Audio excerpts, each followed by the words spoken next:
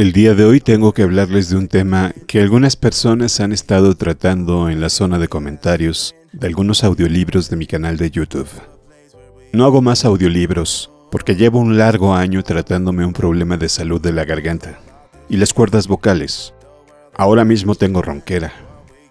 Es un hecho que, si hubieran suficientes patrocinadores a través de Patreon, incluso podría pensar en ir con especialistas, otorrinolaringólogos y fonólogos. Pero al correr yo con todos los gastos médicos, sin apoyo de mis familiares, le tengo que dedicar más tiempo a trabajar por fuera de este medio y recurrir a médicos generales.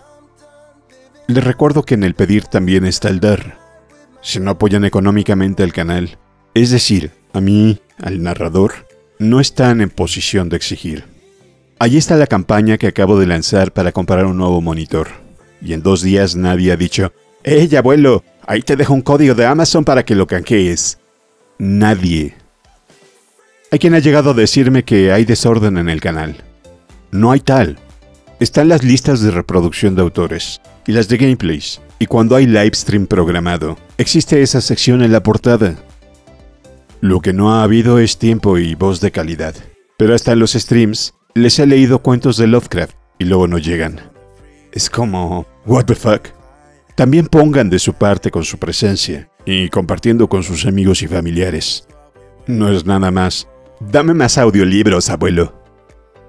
Ahora, me han estado jodiendo con que me estoy quedando atrás y que hay otros que están produciendo obra, que me van a desplazar y que se está perdiendo el canal.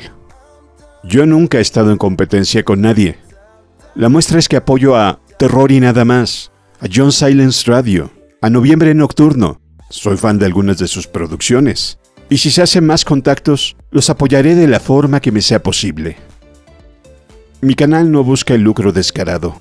Si fuera así, hace tiempo que me hubiera movido a los tops y a los creepypastas, hacer videos con un montón de filtros y efectos, con fotos que te bajas de Google, como hace Dross e incontables youtubers sucedáneos.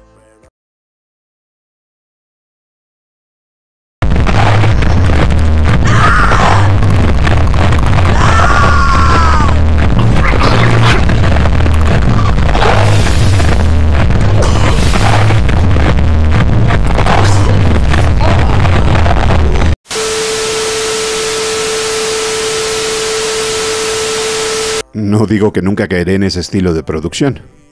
Quizás en algún momento, porque esos youtubers, sus seguidores y suscriptores, si les dan propinas, si les compran su merchandising y si aparecen en el top de búsquedas. Pero ahora mismo no me da la gana.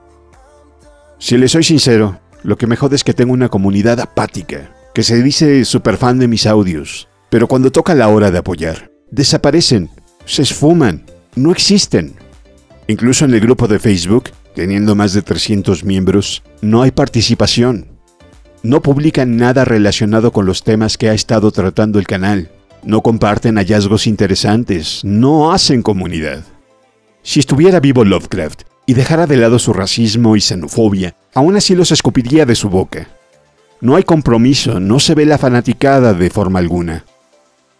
En este tiempo me he dado cuenta de todas estas cosas, incluso más que no mencionaré, pues no vale la pena. Yo seguiré haciendo lo que me dé la gana en mi canal, y cuando pueda hacerlo. Siempre agradeceré a las personas que me apoyan incondicionalmente, y no haré caso a aquellas que pretenden influir en la producción con sensiblerías y argumentos tan poco sólidos como los que mencioné hace un instante. Quienes se sientan aludidos pueden tomar la decisión que gusten. Soy el abuelo Kraken. Muchas gracias por escucharme o leerme. Hasta la próxima.